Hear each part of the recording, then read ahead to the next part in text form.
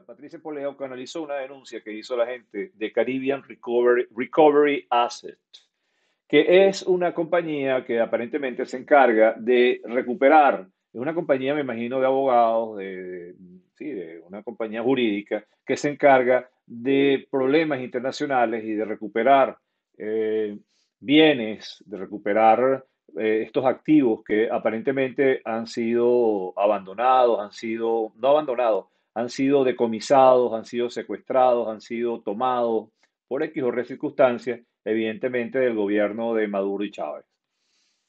Entonces, eh, lo que queremos decirle con esto es que esta denuncia que hace la gente de Caribbean Recovery Asset, que es esta compañía, es una de las denuncias más graves que se ha escuchado y lo canalizaron a través del programa de Patricia Poleo, Agárrate, en donde ella este, sirvió para canalizar esa denuncia y además eh, ella en, su reportaje de investigación colocó diversas pruebas y las puso al servicio de los ciudadanos. Por eso es que estamos acá.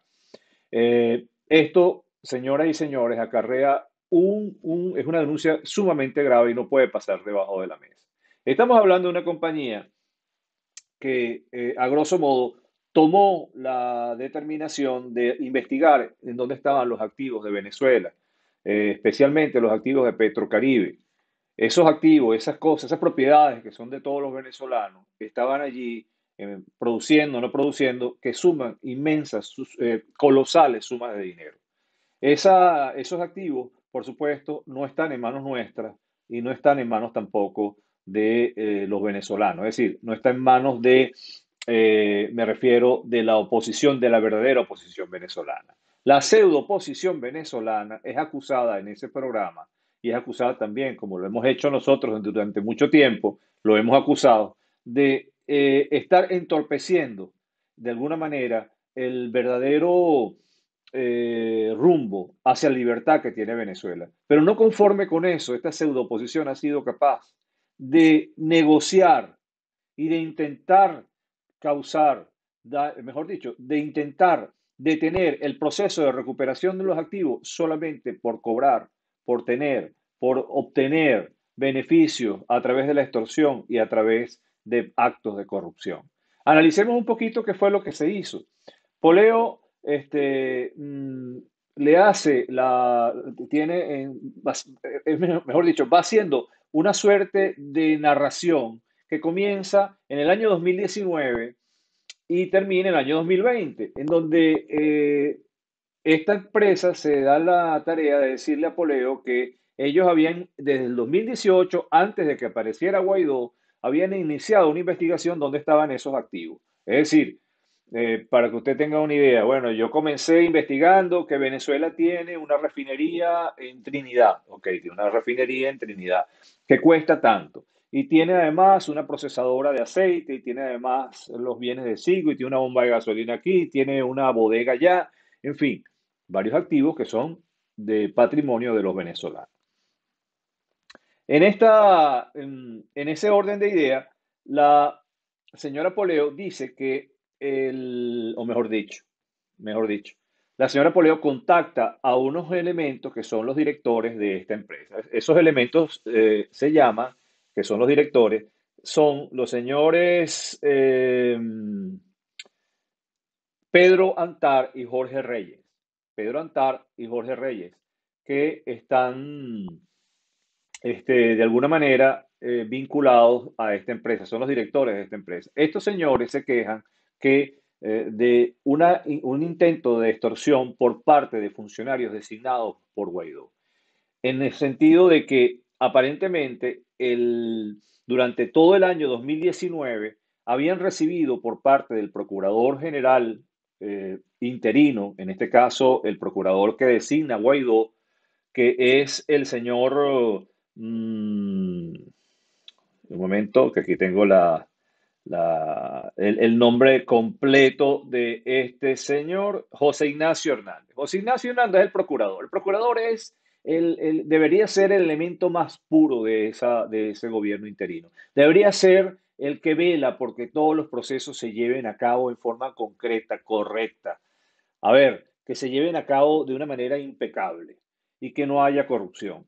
Eh, estos, estos personajes, estos directores, repito, el señor Pedro Antari y Jorge Reyes, dicen que ellos se reunieron con este señor y le pasaron comunicaciones a este señor y que en una de esas comunicaciones y en uno de esos eh, eh, momentos en que tuvieron contacto, creo que fue en la segunda oportunidad, estuvo presente nada más y nada menos que el señor eh, John Goicochea, entre otras cosas. Y que bueno, ellos habían recibido un acto de buena pro, es decir, le habían, eh, en otras palabras, le habían dicho, sí, ustedes son la empresa que van a recuperar los activos de Venezuela en el exterior. Y entonces, y que esa, mm, vamos a decir, esa comunicación que le hicieron por vía email, estaba del, lo tenían como conocimiento, o, tenían conocimiento eh, prácticamente todos los desde 4 y por supuesto el principal, que es el procurador. Como repito, el señor eh, que es designado además por, por, es el procurador del gobierno, que es José Ignacio Hernández, del gobierno interino. Para ese fin, para ese fin, señor Guaidó este, designa un señor que se llama Marco Aurelio Quiñones, un diputado.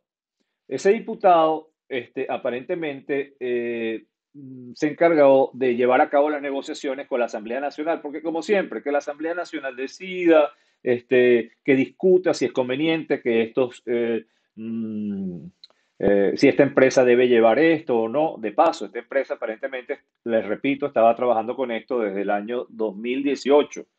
Entonces, hace unas reuniones en Miami y este, Dentro de los diputados populares estaba, por supuesto, Luis Florido, Superlano, Vergara, etcétera, etcétera. Y eh, le hacen esto el conocimiento al señor José Ignacio Hernández, que es el procurador. ¿Qué pasa? Este, aparentemente, en, en conjunción con el señor Luis Augusto Pacheco de PDVSA y el señor Joan Goicoechea, este, eh, llegaron a un acuerdo en esa reunión, que fue la segunda vez y aprobaron a esta empresa. Que se llama, les repito, Caribbean Recovery Asset. Esa empresa para recuperar los bienes. ¿Quiénes son estos señores que se reunieron entonces? ¿Quiénes estaban de acuerdo? El procurador, el presidente de PDVSA, nombrado por el, por el gobierno interino, por supuesto, que es el señor Luis Augusto Pacheco, y el señor John Goicoechea, que ya ustedes lo conocen, no necesita presentación. A ver, ¿qué pasa con esto? El señor eh, Guaidó designa a través de un mecanismo que pasa por encima de la Asamblea Nacional al señor Javier Troconis. Javier Troconis es el famoso eh, personaje que aparece. Javier Troconis es el personaje que aparece aquí con Diosdado Cabello. Y lo ven sonriente es el hombre que eh, aparentemente eh, tiene una extraña relación con él, como lo dice el Repúblico Humberto, tiene una extraña relación con los López, porque él, eh, no sé, no nos explicamos cómo este señor Troconis, Javier Troconis, con esas vinculaciones que tiene, puede ser designado nada, más y nada menos por una comisión presidencial para gestionar los activos de Venezuela. Bueno, ese fue, ese fue el elemento que eh, de alguna manera Guaidó designó para vigilar, puso a Zamuro a cuidar carne. Durante el año 2019 este, hubo muchas eh, comunicaciones entre ellos, es decir, eh, ¿por qué no me estás pasando? ¿Qué está pasando que no, no iniciamos el proceso? Mm, aparentemente hubo mm, vinculaciones con unos elementos que estaban además encargados o que dejaron encargados por parte de la, de la dictadura, eh, de, perdón, del gobierno, bueno, lo mismo, del gobierno interino, dejan encargados a unos señores que son los señores Troconi, Blasi Planchar y los señores Prosperi en una reunión en Miami. El señor Blasi o los hermanos Blas y Planchard, son dos hermanos, uno que está oficialmente designado como encargado de negocio en la, en la, embajada, en la embajada de Venezuela en Estados Unidos y otro que es el hermano que es el, como el brazo ejecutor, como el que va a hacer los negocios, ¿no? Que son los hermanos Blasi Planchard. Estos hermanitos son los que le pasan a los directores de esta compañía encargada de recuperación, nada más y nada menos que una carta pidiéndole este, lo siguiente. 750 mil dólares de avance, el 18% del contrato, bueno, que está bien, pero una vez cobrado esto, ellos exigían el 50% de ese contrato. Es decir, en otras palabras, dame 750 mil dólares y de esos 18% que tú vas a cobrar, yo quiero la mitad. Me hago socio tuyo. Oye, bárbaro, ¿no? Esto lo hizo, eh, repito, los señores Blas y Planchard, que son las manos derechas de Carlos Vecchio. Le piden eh, un contrato modelo del consorcio y dice que la oficina haría la contratación y que los abogados revisarían el contrato, etcétera, etcétera, este, y que la contratación sería en forma directa. Mire, cuando uno ve esto, uno dice, hemos llegado a un punto, señoras y señores, en que estas personas de este gobierno interino no tienen absolutamente ningún tipo de pena, ni de vergüenza, ni de nada. Estamos hablando de verdaderos delincuentes, estamos hablando de personas que se han llevado por delante la confianza de los venezolanos, se han llevado por delante al país, se han llevado por delante todo. Esto no para aquí. El consorcio le entrega a Guaidó, al presidente de PDVSA y al procurador de diputados alimentario de los bienes. Es decir, ellos le dijeron, mire, usted, un mapa de todo lo que hay. Ellos ni siquiera sabían según dice Patricia Poleo, eh, hubo un momento que ellos dijeron, oye, no sabía, no sabía que Venezuela tenía tantos activos en diferentes partes, en diferentes islas, especialmente la de Petrocaribe. Después vino la extorsión. Una vez que esas conversaciones se llevaron a cabo, aparentemente en diciembre, eh, llevaron una reunión en, Miami, en el Doral, en las oficinas de estos delincuentes, específicamente de Blasin Planchard, previamente autorizado por este señor que apareció con, con Diosdado Cabello abrazadito, que es el señor Troconi, y les, les pidieron la bicoca de 50 mil dólares para hacer... Eh, eh, fue cuando le presentaron la carta, perdón, le presentaron la carta y le pidieron los 750 mil dólares. Pasamos de diciembre a enero, reciben la buena pro, dicen, bueno, ya está bastante bien. Ahí es donde, ahí es donde tenemos un poquito Ahí es donde empieza un poco la crítica que ya yo les voy a decir al final, porque esto hay que comentarlo. Este, pero en enero del 2020 ellos reciben la buena pro, demuestran que tienen solvencia porque le dijeron, bueno, ustedes tienen plata para eso. Sí, nosotros tenemos 4.6 millones de dólares para esto y podemos además de eso alcanzar hasta 6 millones de dólares, algo así, para poder lograr eh, eso. Hay un, eh, la, señora Patricia Poleo mostró un WhatsApp allí, este, donde la fecha sale 2019 y esta comunicación de Buena Pro aparece en el 2020. Esto es delicado ya con respecto a la empresa, con respecto a los directores que llevaron a cabo este negocio. Me estoy refiriendo a los que hicieron la denuncia. Señores, si ustedes fueron, si ustedes se fijan bien, este incidente tiene eh, un desfase de fecha. Uno son 2019, cuando ustedes le dicen, mira, tienes que bajarte de la mula con 750 mil y la buena pro viene después. Esto es un poco delicado. Esto es un poco delicado. De todas maneras, es posible que mm, haya que revisar mejor. Voy a, a, revisar bien, pero eh, estoy seguro que en el WhatsApp decía fecha 2019. Porque en, esa fecha, eh, el señor Magin Planchard, de los hermanos estos Blasin, específicamente Magin, este, insiste en la extorsión. Y esa, esa fecha de ese WhatsApp es de 2019. Y los señores dicen que eh, recibieron la buena pro en enero del 2020. Puede ser que la, eh, eh, hubo un error de cuando se relató eso en el programa de Patricia Poleo. Entonces vamos a darle el beneficio de la duda para que lo puedan rectificar o no. O será así. Ellos recibieron la extorsión primero y la buena pro después. Lo cierto es que Magin, según la señora Poleo, le pide el 15 de enero del 2020 50 mil dólares para eh, seguir. Y lo dijo, lo dijo además en términos casi de secuestro. Mira, o me das 50 mil dólares o te olvidas del negocio. Acto seguido, después que le dieron esos 50, mejor dicho, después que pidieron esos 50 mil dólares porque no se los llegaron a dar, esta gente dice que los olvidaron. No los atendieron más, no hay llamadas, no le atienden los teléfonos, no le dan los emails. Ellos envían en febrero, le mandan un email a, Troconis, que es el que aparece con Diosdado Cabello, que es el designado por Guaidó, le dicen, epa, ¿qué pasó con la negociación? Ya teníamos todo, ¿cuándo vamos a iniciar la recuperación? Claro, ese es su trabajo, ellos están ganando, ellos van a ganar un buen dinero por eso. En marzo este, le mandan un mail, pero esta vez al procurador. Acuérdense que el procurador es el, el designado por Guaidó, el hombre que tiene José Ignacio Hernández, que eh, debería ser el que vigila los intereses de nosotros los venezolanos, el que vigila los intereses de nosotros los venezolanos por el gobierno interino. Le mando una carta al, procurador en marzo de este año, del 2020. En abril le responde el procurador y le dice, mira, nosotros no firmamos nada con usted, nosotros no tenemos nada que ver con usted. Es más, de ahora en adelante, yo le ruego por favor que se deje de estar pasando por gente que está representando a Venezuela porque ustedes no tienen ninguna autorización para eso, no lo conocemos, no sabemos nada. Esta gente es lógico que interprete, me estoy refiriendo a esta empresa, es lógico que interprete, oye, como no le di los 50 mil dólares que me pidió mm, para iniciar todo esto por la extorsión, entonces como no respondía a la extorsión, entonces ahora me están desconociendo.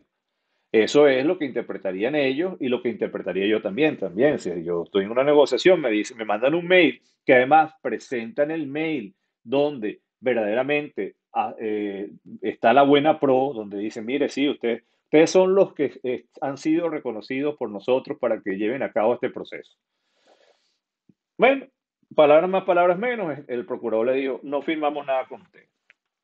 En mayo, el consorcio le responde y le dice, bueno, pero ¿cómo es eso? Si ustedes sí firmaron con nosotros, ustedes nos dijeron esto, ah, bla, bla, bla, bla, sostuvimos esta conversación. En junio, le responde el procurador otra vez, en junio de este año, y le dice, mire, este, ya nos cansamos de hablar con ustedes, les agradezco en el alma, ya el señor Carlos Vecchio, porque Carlos Vecchio lo supo todo el tiempo. Carlos Vecchio, de Voluntad Popular, el que representa a Venezuela en los Estados Unidos junto con John Goicochea, junto con el procurador, junto con ese presidente de PDVSA puesto por este gobierno interino. Sabían absolutamente todo lo que estaba pasando. No recuperaron nada y no se hicieron las gestiones para recuperar los bienes del Estado, sencillamente porque eh, no se combinó el proceso de corrupción administrativa. Es decir, no me interesa recuperar, esa gente del G4 no le interesaba recuperar los bienes de Venezuela. Les interesaba era sacar el dinero de la comisión, el dinero de la corrupción, el dinero, la extorsión, ese miti-miti, ese cuánto hay para mí.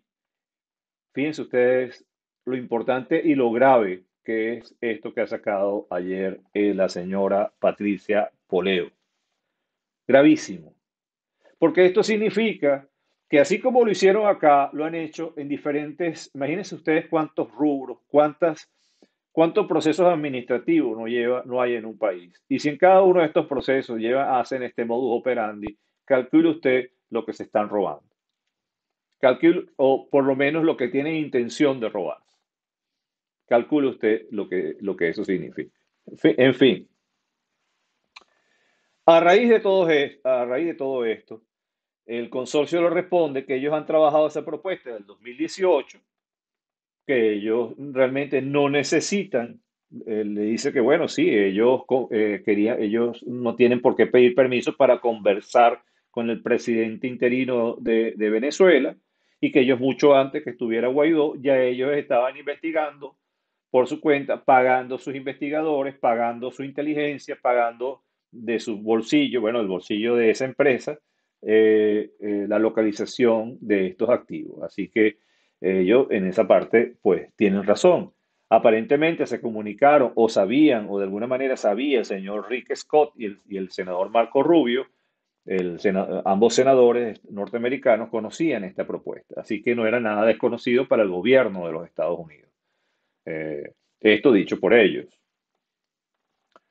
Después de eso, la periodista dice que el que sí se puso las pilas y el que sí se puso las botas para recuperar esos reales es Maduro y que lo anunció y puso el, spot donde anuncian eso. Los hermanos, así como hacen en las películas, ¿no? Que ha sido, que es de la vida de esos hermanos eh, Blas y Planchard que pidieron esos 50 mil dólares. Ahí están, muertos de la risa, encargados de negocios de la Embajada de Venezuela en los Estados Unidos. Ahí están, representando impunemente, impunemente a los venezolanos.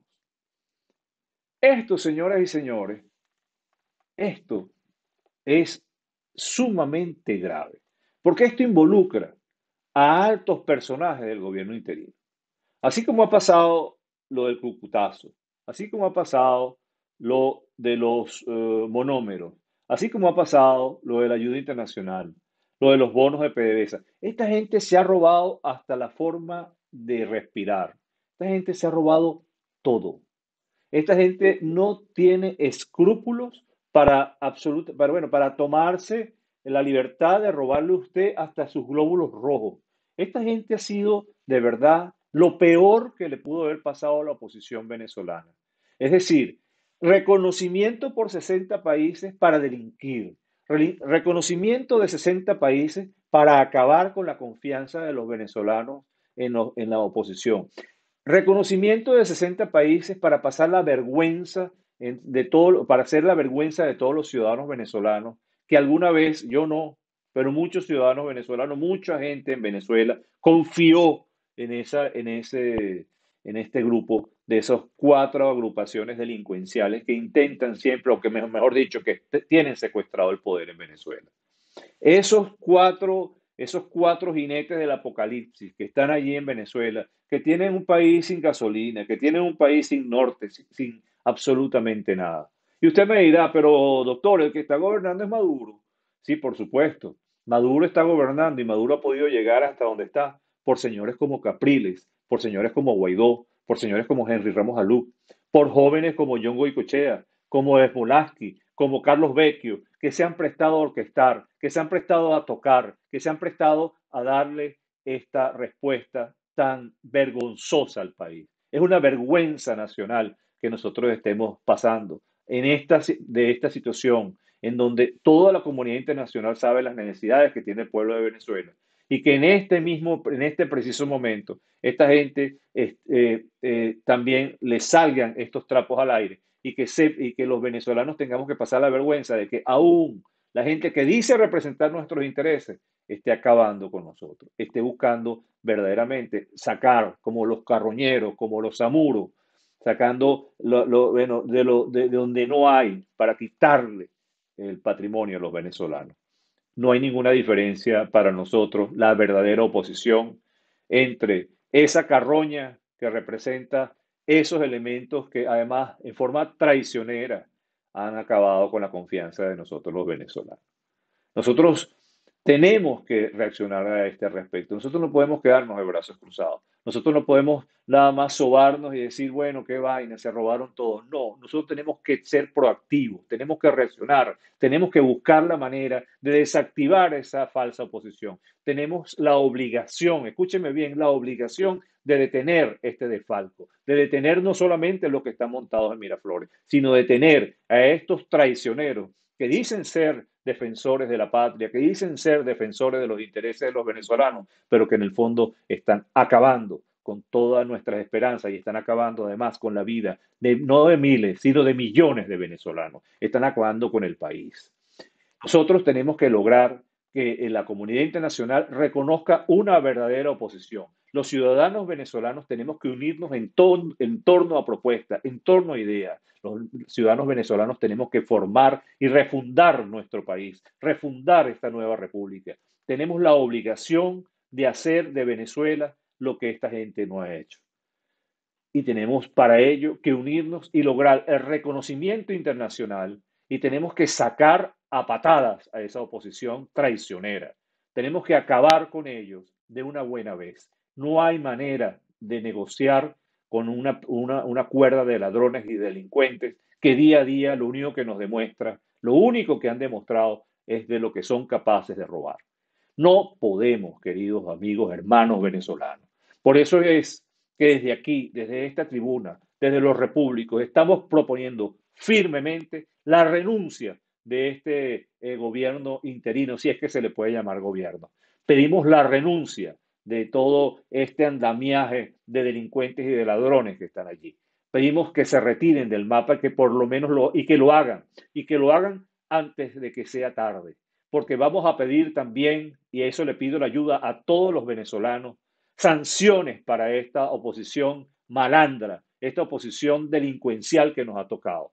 Nosotros pedimos desde la tribuna de los repúblicos la sanción total y absoluta de la ley, las, sanciones legales a que haya lugar para estos elementos que están pululando, para, que están parasitando todo lo que es el aparato opositor venezolano.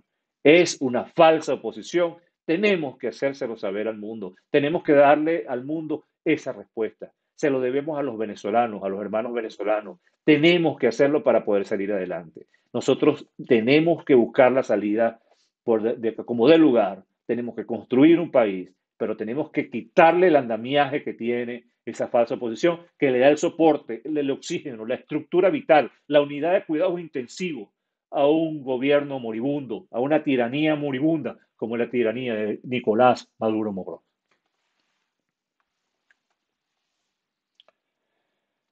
Yo quiero decirles que en estas observaciones, ojalá, ojalá eh, no haya ninguna contradicción de fechas y que realmente esté eh, pegado a la ética y a la ley lo que se ha denunciado durante el día de ayer en el programa de la señora Patricia Poleo.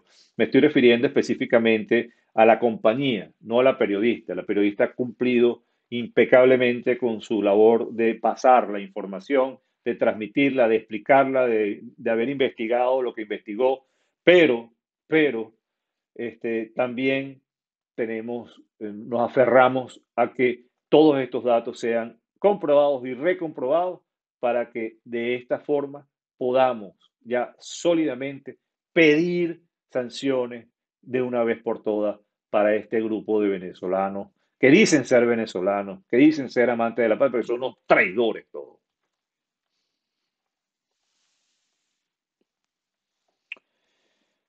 Yo sé que es más fácil, yo sé que es más fácil, estimados amigos, eh, dar buenas noticias.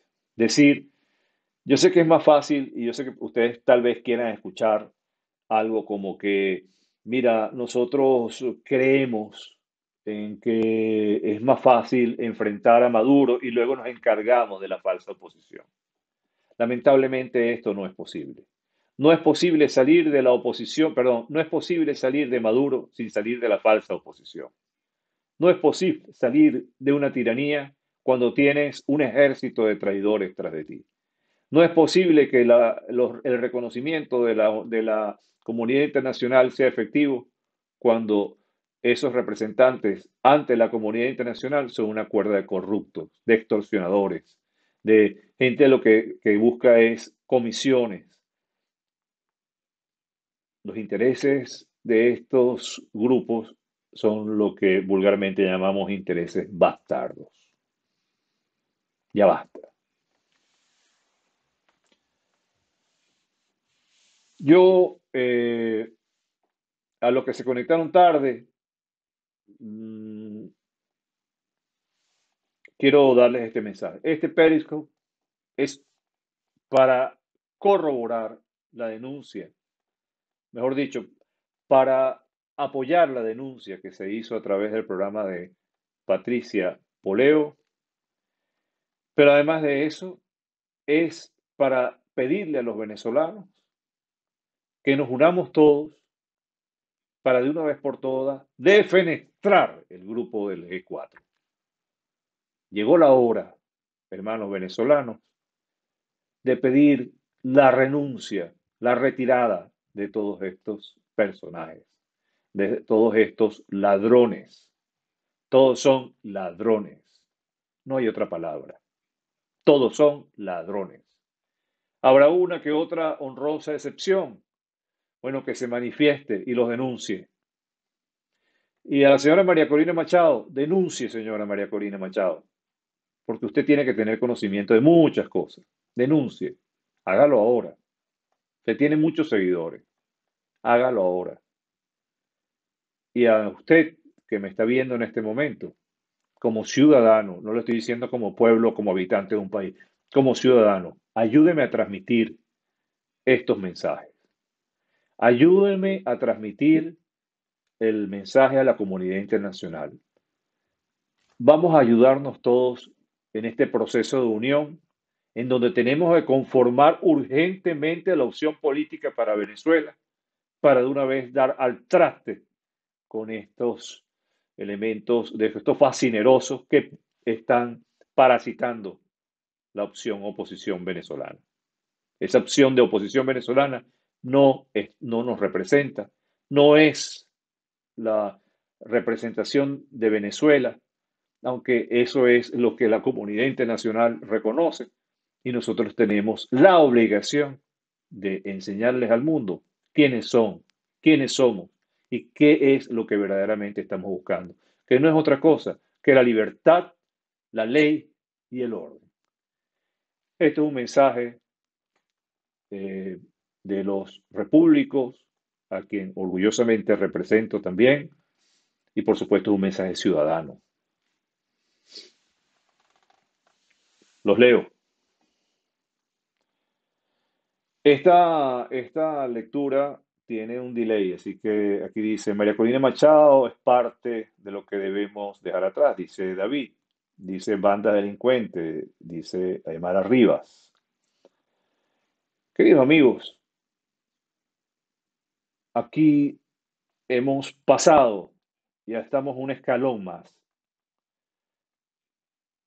Siempre se puede estar peor, siempre se puede estar peor. Pero esta gente nos ha demostrado de lo que son capaces. Nos ha demostrado que son lo peor de los venezolanos. Son la traición. Representan el enemigo dentro de la causa noble. Representan el retroceso hacia la ruta de la libertad. Tenemos, debemos, y lo vamos a hacer, tenemos que quitarlos del mapa. Porque si no se quitan, vamos a tener que quitarlos nosotros. Y ellos voluntariamente nos han quitado. Tenemos que pedir sanciones no solamente para la narcotiranía, sino para quienes apoyan a los narcotiranos. Y ese va a ser uno de nuestros grandes objetivos también. Tenemos que acabar con los traicioneros de este movimiento que conduce hacia la libertad. Es hora de que los venezolanos estemos caminando juntos en un solo objetivo, que no debe ser otro que fundar una nueva república, que no debe ser otro que buscar el camino de la libertad. No se equivoquen, queridos amigos. Hay que buscar esa, ese reconocimiento y hay que defenestrar definitivamente la corrupción que existe, que pulula en todos esos partidos políticos